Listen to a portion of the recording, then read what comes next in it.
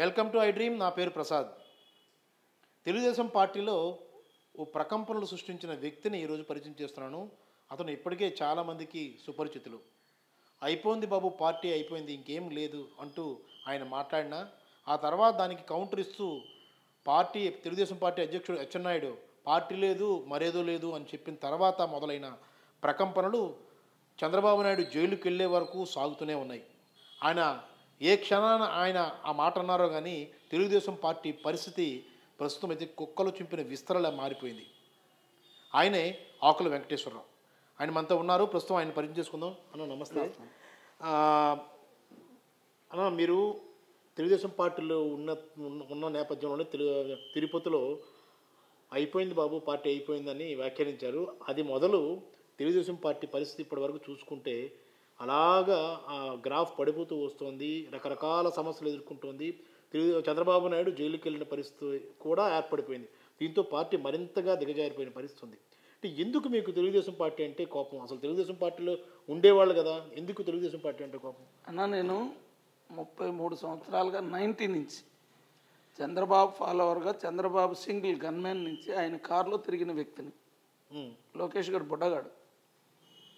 వాడు నా ఇంటికి సైకిల్ గురించి అంకుల్ అంకుల్ సైకిల్ అని వచ్చిన రోజులు ఉన్నాయి సైకిల్ మోటార్ సైకిల్ కారు నేను నేర్పితే నేర్చుకున్నాడు అయితే నైన్టీ నుంచి గల్లీ నుంచి ఢిల్లీ దాకా చంద్రబాబు వెనకాల చంద్రబాబు ఎక్కడుంటే అక్కడ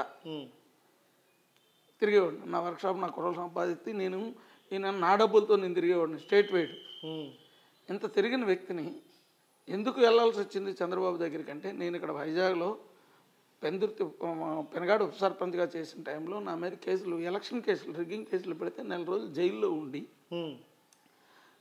వీళ్ళెవరూ లోకల్ నాయకులు సహకరించకపోతే ఇదే బండారు సత్యనారాయణ థియేటర్లో టికెట్లు అమ్ముకున్నాడు. ఆడు ఎంత దరిద్ర నా కొడుకో ఈరోజు చెప్తున్నాడు బండారు సత్యనారాయణ గురిని. అరే సత్యనారాయణ నీకు ఎప్పుడో దరిద్రం నీ రోజులు స్టార్ట్ అయిపోయింది బ్యాడ్ టైం నీకు స్టార్ట్ అయిపోయింది. ఎందుకంటే నీ కొడుకు నువ్వు ఎంత దరిద్రలో ఎంత మోసగాల్లో ఏ విధంగా నాశనం చేస్తారో నా జా నా జీవితం నాశనం చేయడానికి కారణం నువ్వు ఒకడురా ఎందుకు అంటే నువ్వు చంద్రబాబుకి ఏమేమి చెప్పి నన్ను బ్లేమ్ చేసావో నాకు తెలుసు. అయినా నేను ఓపిక పట్టి చంద్రబాబుతో ఉన్నా.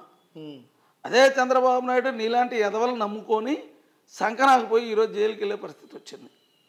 ఎందుకంటే బండారు సత్యనారాయణ ఎంత నికృష్టుడో. అవును. లేకపోతే నా మీద మర్డర్ కేసు పెట్టిస్తారండి వీళ్ళు. కడగడ ధనలక్ష్మి అనే వ్యక్తిని నేను మర్డర్ చేయొచ్చానని చెప్పేసి మర్డర్ కేసు పెట్టించారు. ఆ- కేసు అది కూడా నేను చంద్రబాబుకి చెప్పాను. Commissioner direct media media press మీట్లో చెప్పాడు. అలా పలానా వెంకటేశ్వరరావు మీద ఈ విధంగా అలిగేషన్స్ వస్తే లేట్ అయ్యింది.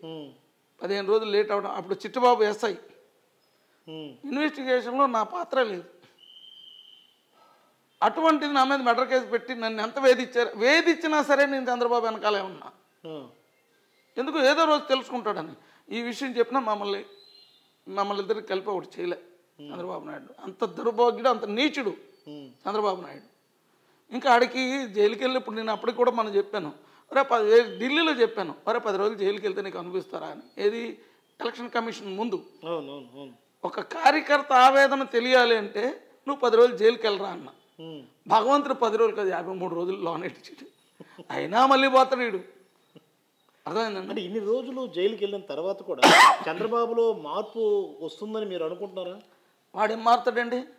వాడు మారేటట్టయితే ఇదే డాల్ఫిన్లో వైజాగ్ డాల్ఫిన్లో స్టార్ట్ అయింది. ఏది రెహమాన్ కిరీట్ కిరీటం పెట్టినప్పుడు. ఆ పక్కనే ఉన్నా చంద్రబాబు పక్కనే ఉన్నా అప్పుడు నేను డాల్ఫిన్లోనే ఉన్నా. అయితే కోదడమిల చంద్రబాబు ఫోన్ చేసి అంటే మీరు ఇమీడియట్గా వైస్రాయ్ షిఫ్ట్ అయిపోమని. ఎందుకు? లక్ష్మీపార్వతి మీద కోపం. యాక్చువల్గా లక్ష్మీపార్వతి ఫోటో పెట్టుకోవాలి ఈయన. సీఎం అవడానికి కారణం ఏంటి?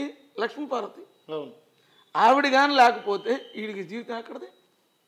ఆవిడని అడ్డం పెట్టుకొని వీడు కావాలని చెప్పి లేనిపోని సృష్టించి వైస్రాయ్ క్యాంపెయిన్ పెట్టి పాపం ఆవిడకి ఆవిడకేం తెలియదు ఆవిడ పెద్ద ఆయన కూడా ఆవిడ ఏమన్నాడు నా సహధర్మసారిణిగా ఉంటుందని చెప్పేసి అన్నాడు. వీడు చేసిన పని ఏంటి? అదే అవకాశంగా పెట్టుకొని వైస్రాయ్ క్యాంపెయిన్ షిఫ్ట్ చేసి లేనిపోని ఎన్ని ఎమ్మెల్యేలకి చెప్పి అశోక్ గజపతిరాజును ముందును పెట్టి కామినేని ఇంట్లో మూడు రోజులు వీళ్ళందరినీ ఎలా రప్పించుకున్నాడో నాకు తెలీదా? అశోక్ రాజు గజపతిరాజు వీళ్ళందరూ కలిపి సీఎం చేస్తున్నారు? మీరు ఆలోచించుకోండి అని కావాలని చెప్పి. అయితే బావా నువ్వే ఉండని చెప్పేసి. ఇదే హరికృష్ణ పాపం. హరికృష్ణకి ఎమ్మెల్సీ ఇస్తే బతికేవాడు కదండి. హరికృష్ణకి ద్రోహం చేయలేదా? హరికృష్ణ పక్కన పెట్టేయలేదా? ఎన్టీ రామారావు కుటుంబాన్ని పక్కన పెట్టేసి ఒకనొక టైంలో ఇంత ఎన్నిపోటు పొడిచిన వ్యక్తి చంద్ ఎన్టీ రామారావు బొమ్మ పెట్టడానికి కూడా ఇష్టపడలేదు. ఈరోజు ఎన్టీ రామారావు జపం ఎలా చేస్తున్నాడు? ఎన్టీ రామారావు బొమ్మ ఎలా పెట్టుకుంటున్నాడు? అంటే మహా మీరు ఏదైతే తిరుపతి తిరుపతిలో మీ ముఖం కనిపించకపోయినా మీ వాయిస్ వినబడింది. తర్వాత మహానాడు నేను కేసు పెట్టాను. కేసు పెట్టారు. మహానాడులో మీరు ధైర్యంగా డైరెక్ట్గా లోకేష్ని ఉద్దేశిస్తూ విమర్శలు చేశారు. నేరుగా మీరు వీలైతే నా కేసులు పెట్టుకోండి నేను ఇలాగే విమర్శిస్తానని ధైర్యంగా నిలబడ్డారు. అసలు ఏంటి మీ ధైర్యం ఏంటి? తెలుగుదేశం పార్టీలో ఉంటూ తెలుగుదేశం నేతల్ని చంద్రబాబుని లోకేష్ని ఇంత దారుణంగా విమర్శించిన పరిస్థితి ఆ ధైర్యాన్ని మీ కారణం ఏంటి? సార్ మీరు ఆ ధైర్యం అన్నారు కదా?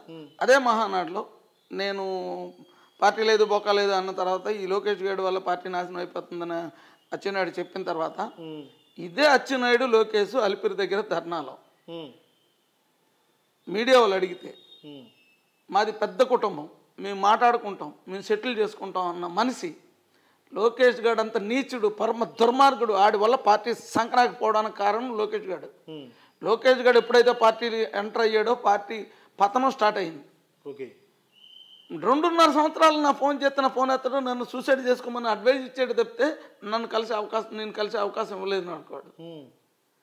ఇప్పుడు పార్టీని సస్పెండ్ చేయండి అంటే సస్పెండ్ చేయరు. మహానాడులోకి వెళ్ళాను. ముందు రామ్మోహన్ నాయుడు పలకరించాను. బాబు అంటాను. ఎందుకంటే అరవనాయుడుతో సన్నిహితం కదా. ఆ తర్వాత లోకేష్ బా లోకేష్ బాబు అన్న. వీడు చూసి చూడలేంటి ఆ తర్వాత వాసు ఉన్నాడు.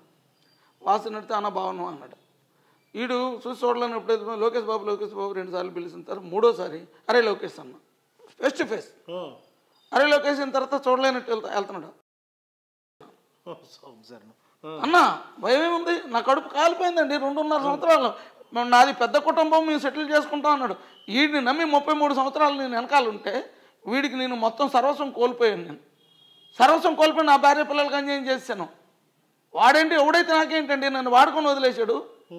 ఇప్పుడు నా ధైర్యమే నా నిజాయితే నా ధైర్యమే నా ఇది నా ఆయుధం. వీడికి దమ్ముంటే నాకు చెప్పనండి నేను చేసిన నేను చేసిన ఆరోపణలన్నీ ఈ తప్పుడు అని అనమనండి. లోకేష్ గడి వచ్చిన తర్వాత పార్టీ సంకనాకపోవడానికి కారణం కాదా? అదే అచ్చెన్నాయుడు మాట్లాడలేదా? ఏమని? లోకేష్ గడి వల్ల పార్టీ సంకనాకపోయిందని అచ్చెన్నాయుడు మాట్లాడలేదా? వీళ్ళు అచ్చెన్నాయుడు పార్టీ లేదు బొక్క లేదని అచ్చెన్నాయుడు పక్కన అలా పెట్టుకుంటారు వీళ్ళు. పార్టీ అధ్యక్షుడు ఎలా ఉంచుతారు? అంటే సస్పెండ్ చేసి దంగొచ్చు కదా? నన్ను అయితే పక్కన పెట్టేస్తారా? అంటే నా దగ్గర డబ్బులు లేవనా? వాడి దగ్గర డబ్బులు ఉన్నాయి? వాళ్ళ ఇంట్లో ఫ్యామిలీ మెంబర్స్ ఒకడు ఎంపీ ఒక పాప ఎమ్మెల్యే. అవును. ఆయన్ని సస్పెండ్ చేస్తే పార్టీ చిన్న అయిపోతుందనే కదా మీరు? ఆయన సస్పెండ్ చేయలేదు? చేయొచ్చుగా. మీకు నిప్పు నిప్పు అంటున్నావు. నీ నిప్పు నీ నిజాయితీ ఇక్కడే బయటపడిందిరా? చంద్రబాబు నాయుడు నీ నిప్పు నిజాయితీ అనేది పార్టీ లేదు బొక్క లేదని నువ్వు పార్టీ నీ పక్కన ఎలా నిలబెట్టుకుంటావు? నువ్వు ఎలా కూర్చోబెట్టుకుంటావు?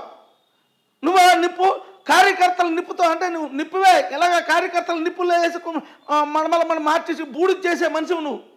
నువ్వు నిప్పు నిప్పు అని జైలు నుంచి బయటకు వచ్చిన తర్వాత నువ్వు మాట్లాడే మాటలేంట్రా? నువ్వు మాట్లాడే మాటలు పా- కోర్టు ఏమైనా నీకు షరతులు ఇచ్చింది? ఆ షరతులు ఉల్లంఘించి నువ్వు అన్నిటి వ్యవస్థను మేనేజ్ చేసినాడు నువ్వు నెంబర్ వన్ దుర్మార్గం నా కొడుకువి నువ్వు. నీకైతే ఇంటర్నేషనల్ లాయర్లు కావాలి? మాకు లాయర్లు పెట్టే గతి కూడా ఉండదు మేము జైలుకి వెళ్తే. పార్టీ క్యాడర్ కోటే చెప్తున్నా ఇటువంటి నా కొడుకుని నమ్ముకుంటే సంకనాకపోతారు ఈరోజు నేను పైకి రావడానికి కారణం ఏంటో తెలుసా? ముప్పై మూడు సంవత్సరాలు వెయిట్ చేశాను. ఈ నా కొడుకు ఏదో రోజు చేస్తాడని నాది బంజారాల సైట్ అండి నాలుగు వందల గజాలు. పది సంవత్సరాల నుంచి ఈ మూర్ఖుడు వెనకాల తిరుగుతున్నా. పది సంవత్సరాల నుంచి. మళ్ళీ వీడికి సత్యంత సన్నిహితుడు కేఎల్ నారాయణ. పన్నెండు కోట్ల ఆస్తి అది ఈ నా కొడుకు నాకు చెప్పుకుంటా వాడికి వాడితో చేతులు కలిపి వాడి దగ్గర డబ్బులు దింగడు పార్టీ ఫండ్ కింద. పార్టీ క్యాడర్కి పార్టీ నమ్ముకున్నోడికి ఈ విధంగా చేయడం ఏదైనా మంచిదండి? అంటే మీరు చిన్నప్పటి నుంచి లొకేషన్ చూసారని చెప్పారు కదా. సైకిల్ మీరే నేర్పించారన్నారు మోటార్ సైకిల్ కాదని అనుమానండి కాదు అదే అదే. అందుకని అన్నారు కాబట్టి అంటే అప్పటి నుంచి లోకేష్ మనస్తత్వాన్ని మీరు దగ్గరగా దగ్గరగా. చూసున్నాను. ఎలాంటి వాడు మీరు అనుకుంటున్నారు యాక్చువల్గా యూజ్ అండ్ త్రో తండ్రి కొడుకును తండ్రిని మించిన కొడుకు.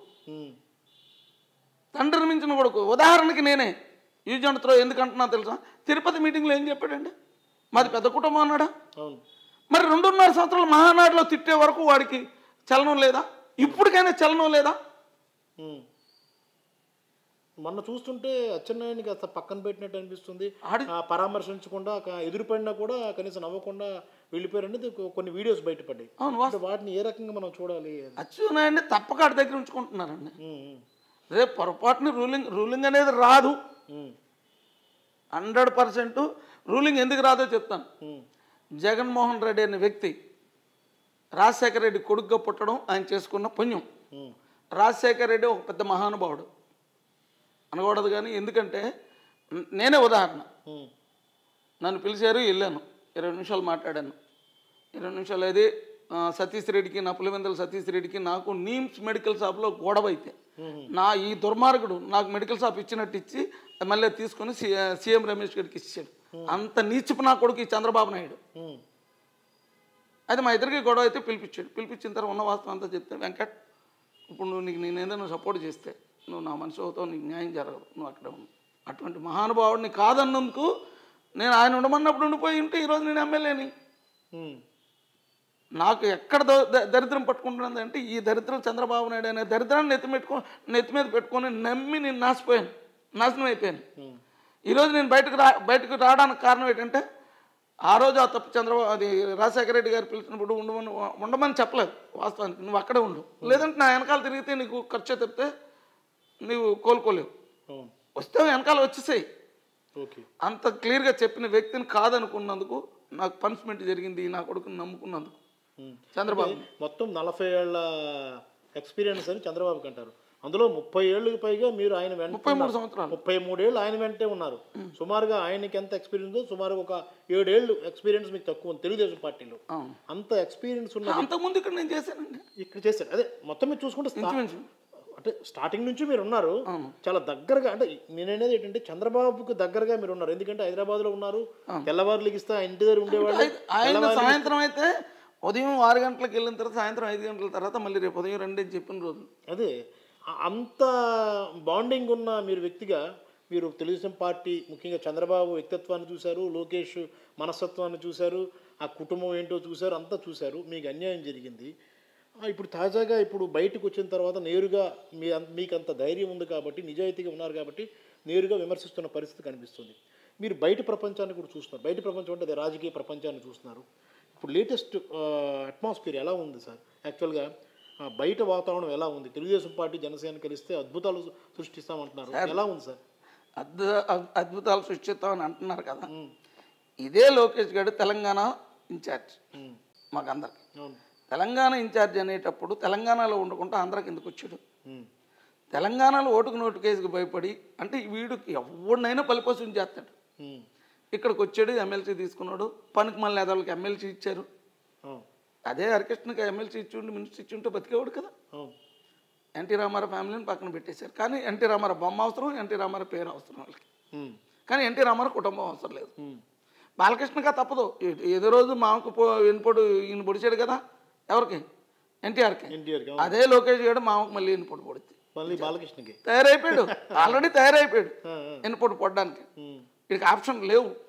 అంటే వీళ్ళది ఎన్ని పోట్లు పొడిచి మీరు అన్నట్టు నారా చంద్రబాబు నాయుడు పెద్ద ఎన్టీఆర్ గారికి వెన్నుపోటు పెట్టారు అవును. ఇప్పుడు నారా లోకేష్ బాలకృష్ణ బాలకృష్ణకి ఎన్ని పోట్లు రెడీ అయిపోయాడు. రెడీ అయిపోయిందా? రెడీ ఓకే ఆ. ఎందుకంటే వారసత్వం ఎక్కడి నుంచి పోద్దండి? వెన్నుపోటు వార వారసత్వం ఎక్కడి నుంచి పోద్ది? ఓకే. అదే లోకేష్ గారు అంత నీచుడు దరిద్రుడు వాడు వచ్చిన తర్వాత పార్టీ సర్వనాశనం అయిపోయింది. తెలంగాణ ఇన్ఛార్జ్ అయ్యాడు. తెలంగాణ సర్వనాశనం అయిపోయింది. తెలంగాణలో అసలు వాస్తవానికి ఒకప్పుడు ఉమ్మడి రాజధానిగా ఉన్నప్పుడు తెలంగాణ కేడర్ మన దగ్గరే లేదు. అటువంటి కేడరు అటువంటికి లీడర్లు అక్కడ ఉన్న వాళ్ళందరూ ఈ వదిలేసి ఎందుకు వెళ్ళిపోయారు. వీడు చేసిన నీచ పనులే కదా చంద్రబాబు నాయుడు చేసిన నీచ పనులే కదా. రీసెంట్గా కాసాన్ జానేశ్వరిని ఎంత అన్యాయం చేశారండి వీళ్ళు?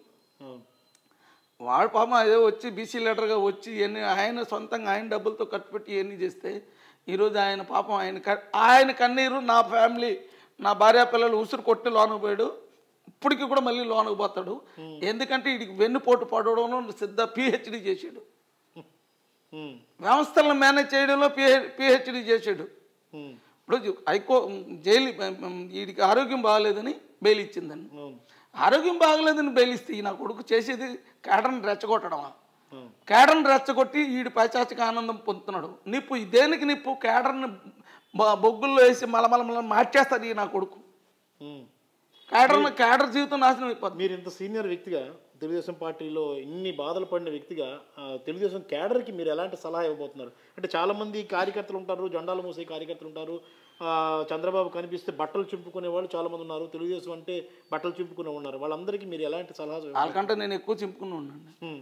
జీవితాన్ని నా భార్య పిల్లలకి అన్యాయం చేసినాను కాదని నన్ను అనమనండి నేను ఇన్ని సంవత్సరాలు తిరిగి ఈ వెనకాల తిరిగి ఎవరినైనా ఈ వెనకాల కానీ ఎర్రనాయుడు ఫ్యా ఎర్రనాయుడు వెనక ఫ్యామిలీ వెనకాల కానీ తిరిగి నేను ఎక్కడైనా ఫ్రాడ్ చేశానని నిరూపించమనండి నాది ఇందాక అన్నారే దేవుడు ఒకప్పుడు ధర్మవరం ఎమ్మెల్యే కేతిరెడ్డి నన్ను అడిగాడు అసెంబ్లీలో. అన్నా నీ ధైర్యం ఏంటని నా నీతి నా నిజాయితీ నా ధైర్యం. ఈ రోజుకి చెప్తున్నా నిన్ను నమ్ముకొని రోడ్డు మీదకి వచ్చానే తప్పితే నేను ఎక్కడ కూడా బాగుపడలేదు నా భార్య పిల్లలకి అన్యాయం చేశాను. ఈరోజు నేను నాకు ఆసరా ఇచ్చారు వీళ్ళు కండువ వేసి. ఈరోజు నాకు ఒక ఒక బలం చేకూరింది.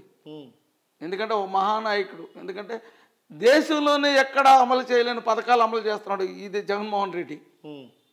ఆయన ఇచ్చిన మేనిఫెస్టో నైంటీ ఎయిట్ నాకు తెలిసి నైంటీ ఎయిట్ పర్సెంట్ సక్సెస్. చేసి తీరాడు ఈ దొంగన కొడుకు ఆరు వందల ఇచ్చి ఏం చేశాడండి మేనిఫెస్టోలో. ప్రజల్లో మోసం చేయడమే తప్ప ఈయన నమ్ముకున్న కార్యకర్తకి నాకే చేయలేదు ఇంకా ప్రజలకేం చేయగలుగుతాడండి వీడు చెప్పమనండి నా దానికి సమాధానం చెప్పమనండి. అవును. నువ్వు బయటకు వెళ్ళడానికి కారణం నువ్వు ఈ ఏదో పని చేశారో బయటకు వెళ్ళి పంపించావు. ఆడికి ఆ దమ్ము ధైర్యం లేదు. లోకేష్ గారు ఉన్నాడు. పార్టీ అక్కడ పార్టీ సంకనాకి ఇచ్చాడు. ఇక్కడికి వచ్చాడు పార్టీని తీసుకున్నాడు. పార్టీని పాదయాత్ర అన్నాడు జైలుకి పంపించాడు తండ్రిని. యోగాలం అన్నాడు. యువగళం తప్పితే ఆయన జైలుకి వెళ్ళిపోయాడా? యోగాలం చేత స్టార్ట్ చేశాడు. ఫస్ట్లో పాపం ఆయన్ని చంపా- ఫస్ట్ రోజు ఆయన పోయాడు. అవును. ఆయన ఎందుకు? ఈయన చేసిన దీనివల్ల ఆయన పోయిన తర్వాత ఆ- ఎఫెక్ట్ కొంతవరకు వచ్చేటప్పుడు తండ్రిని జైలుకి పంపించాడు. జైలు నుంచి వచ్చిన తర్వాత ఇంకా మూర్ఖత్వంగా కేటర్ని రెచ్చగొడుతున్నాడు కోర్టులు ఇచ్చిన వీటిల్ని ఉల్లంఘించినోడు ఇప్పుడు స్పీచ్ ఇవ్వద్దాను రెచ్చగొట్టొద్దాను ఇవన్నీ ఎందుకు చేస్తున్నాడండి? వీడికి సిగ్గు లజ్జ అన్నం తినే మనిషి అయితే కనీసం కోర్టులకైనా విలువ ఇవ్వరా కోర్టులకు విలువ ఇచ్చి న్యాయస్థానాలకు విలువ. నువ్వు మేనేజ్ చేస్తున్నావు నువ్వు న్యాయస్థానాలనే మేనేజ్ చేస్తున్నావు నువ్వు. అవును.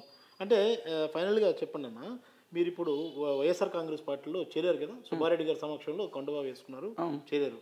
మీ ముందున్న లక్ష్యం ఏంటి? ఎందుకు పార్టీలో చేరాల్సి వచ్చింది వైసీపీలో? నాకు ఎందుకు పార్టీ అంటే జగన్మోహన్ రెడ్డి చేసిన పథకాలు నాకు నచ్చాయి. నమ్ముకున్న వాళ్ళకి న్యాయం చేస్తాడని ధైర్యం నాకు వచ్చింది మెయిన్ నాకు ఒక బలం ఈ నా కొడుకులు ఏదో రోజు నన్ను చంపేస్తారని నాకు ఎవరు? ఇదే చంద్రబాబు నాయుడు లోకేష్. వాళ్ళ మీద కేసు కూడా పెట్టాను కదా. అదే లోకేష్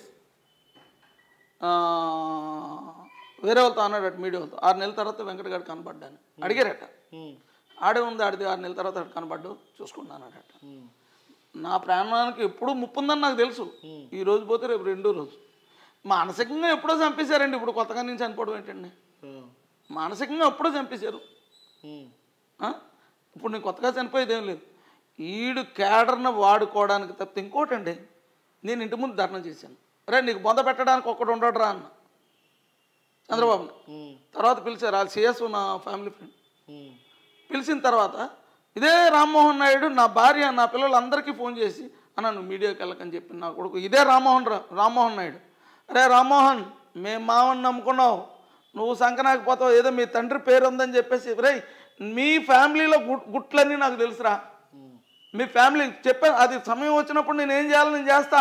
అంత ఈజీగా మిమ్మల్ని వదలను. నువ్వేదో శ్రీకాకుళంలో మళ్ళీ గెలుస్తావని అనుకుంటున్నావు. మీ మామ మీ బామర్ది నిన్ను సంకనాకిచ్చడం ఖాయం.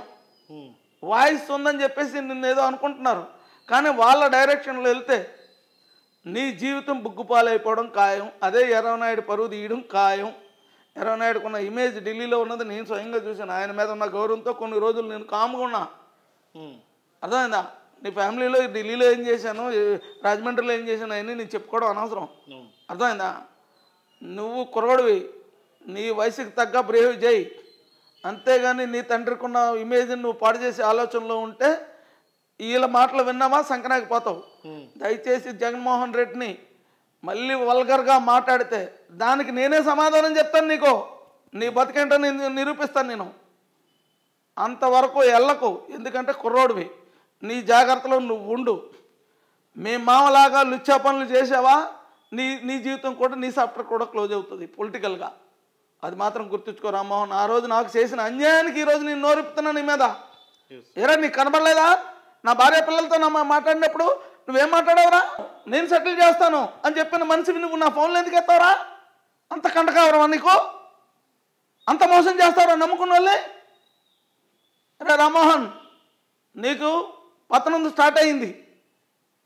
నువ్వు జగన్మోహన్ రెడ్డిని పొరపాటుని నువ్వు ఏదైనా మాట్లాడే వల్గర్ లాంగ్వేజ్ ఉపయోగించావా? నీకు నేనే మొగుడిని నీ ఫ్యామిలీ విషయాలన్నీ నాకు తెలుసు. నువ్వెంత చేటరువో ఎరా ఆ రోజు నా నాకు మాట ఇచ్చి నువ్వు మాట ఎందుకు తప్పారా? నా ఫోన్లో ఎందుకు ఎత్తారా? ఢిల్లీ నీ గురించి వచ్చి కరోనాలో సోసు తప్పి పడిపోతే కనీసం ఫోన్ చేయడం కూడా నీకు బాధ్యత లేదురా? నేను ఢిల్లీలో నీకు ఎంత చేశాను నేను? నీకు నీ బాబుకి నీ ఫ్యామిలీకి? రామ్మోహన్ ఇప్పటికైనా తెలుసుకో. తెలుసుకొని జాగ్రత్తగా మసలడం నేర్చుకో. థ్యాంక్ యూ అన్న. మొత్తం మీద అది మీరు విన్నాం కదా ఆకుల వెంకటేశ్వర గారు అంటే ఆయన ఒక ఫైర్ బ్రాండ్. ప్రస్తుతం ఆ కొద్ది రోజుల క్రితమే ఆయన వైఎస్ వైఎస్ఆర్ కాంగ్రెస్ పార్టీలో చేరారు. ముప్పై మూడేళ్ళ పాటు చంద్రబాబు నాయుడు వెన వెనకాలే ఉంటూ దానికి ముందుగానూ పనిచేశారు. ఆ తెలుగుదేశం పార్టీ స్టార్టింగ్ నుంచి కూడా ఆయన పార్టీలో ఉన్నారు. ముప్పై మూడేళ్ళు చంద్రబాబు ఇంట వద్దే ఉదయం సాయంత్రం ఆయనకి దర్శనం చేసుకుంటూ ఆయనతో పాటు ఉంటూ మొత్తం కాలం గడిపిన ఆకుల వెంకటేశ్వరరావుకు గట్టి షాక్ ఇచ్చారు చంద్రబాబు నాయుడు. ఆ తర్వాత లోకేష్ కూడా మరో షాక్ ఇచ్చారు. వీరిద్దరు వీరిద్దరు ఇచ్చిన షాక్తో విలవెల్లాడిపోయిన వెంకటేశ్వరరావు చాలా విమర్శలు చేశారు పార్టీపై తీవ్ర స్థాయిలో ధ్వజమెత్తారు ఆ తర్వాత తన తనదైన శైలిలో విమర్శలు గుప్పిస్తూ వస్తున్నారు. మొత్తం అందరి బండారాలు తెలిసిన వ్యక్తిగా ఆకుల వెంకటేశ్వరరావు తెలుగుదేశం పార్టీలో సుపరిచితులు అలాగే బండారు సూచనమూర్తి మాజీ ఎమ్మెల్యే మాజీ మంత్రి చేసిన అకృత్యాలను కూడా ఆయన బయటపెట్టారు. ఈ మొత్తం వ్యవహారాలకు సంబంధించి మాస్ వార్నింగ్ ఇవ్వడంలో ప్రస్తుతం ఆకుల Venkata Venkateswararao talk of the political political టౌన్గా మారిపోయారు. ఈ నేపథ్యంలో ఆయన ఎప్పటికప్పుడు తనదైన పందాలో రాజకీయ అదే తెలుగుదేశం పార్టీ నాయకులను చీల్చి చెండాడుతూనే ఉంటారని చెప్తున్నారు తెలుగుదేశం వైఎస్ఆర్ వైఎస్ఆర్ ఇచ్చిన పిలుపు మేరకే ఇప్పుడు జాయిన్ అయి ఉంటే నా జీవితం చాలా బాగుండేది. తన మొత్తం ఫ్యామిలీని నేను నాశనం చేసుకున్నాను. తన కుటుంబానికి అన్యాయం చేసుకున్నానని బాధపడుతున్న పరిస్థితి కూడా కనిపిస్తుంది. తెలుగుదేశం పార్టీలో ఉంటే నాలాగే మీ పరిస్థితి కూడా అవుతుందని ఆయన కార్యకర్తలకు హితోపదేశం చేస్తున్నారు. రానున్న పరిస్థితుల్లో రానున్న రోజుల్లో వైఎస్ఆర్ కాంగ్రెస్ పార్టీ తూర్పు ముఖగా ప్రచారానికి సంబంధించి ప్రచార బాధ్యతలు చేపట్టే వ్యక్తిగా తయారవుతున్న ఆకుల వెంకటేశ్వరరావు రానున్న రోజుల్లో తెలుగుదేశంపై తీవ్రమైన విమర్శలు చేయడంలో కానీ ఆరోపణాస్త్రాలు సంధించడానికి సిద్ధమైపోతున్నట్లుగా కనిపిస్తోంది. కెమెరామెన్ మూర్తితో ప్రసాద్ ఐడ్రీ మీడియా విశాఖపట్నం.